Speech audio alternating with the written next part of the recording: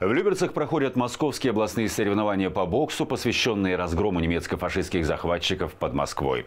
Это ежегодный турнир, который собирает на одной площадке лучших спортсменов региона и соседних областей. На торжественном открытии и первых поединках присутствовали мои коллеги. Открытие соревнований по боксу началось с минуты молчания. Спортсмены, организаторы и почетные гости почтили память защитников Москвы, которые 82 года назад переломили ход войны и развенчали миф о непобедимой гитлеровской Германии.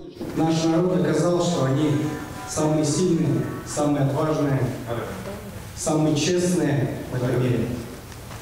Но сегодня настало такое время, сложное опять для нашей страны, что Некоторые забыли в этом мире, чьи мы потомки.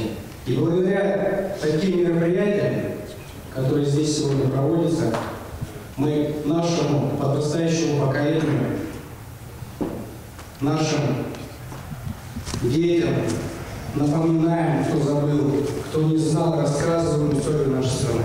В патриотическом турнире, который будет проходить три дня, принимают участие 60 спортсменов из Москвы, различных городов Подмосковья, а также Саранска и Иванова. На ринг выходят мужчины от 18 до 40 лет.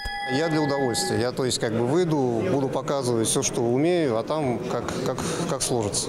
Я сначала детей отвел, потом сам начал заниматься. Мне нравится здесь дисциплина, то есть всегда себя в форме держишь. 12 категорий, э, соответственно, призовые места в соответствии с категориями. Первое, второе, третье место. Будет э, наградная атрибутика, грамоты, почетные грамоты, медали. Ребята, которые э, выигрывают, там, в зависимости от количества регионов, будут э, получат э, звание кандидат мастера спорта. Городской округ Люберцы на этих соревнованиях представят 10 боксеров. Все они воспитанники комплексной спортивной школы Олимпийского резерва.